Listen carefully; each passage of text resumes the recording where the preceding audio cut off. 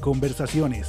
La plática que va de lo informal a lo autobiográfico esta semana es con Eva Lobatón, artista que a través de la ilustración de libros y revistas transmite ideas que difícilmente se pueden expresar de otra forma. Todos somos de alguna manera artistas. En todos hay un artista y un científico, esa es mi teoría. Conversaciones, domingo, 14 horas. El canal de Morelos.